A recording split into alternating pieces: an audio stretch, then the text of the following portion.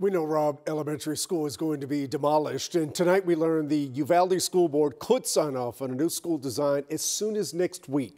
The school would be twice as big and include upgraded security measures like keyless entry and privacy gates. 19 students and two teachers were killed in the mass shooting last May.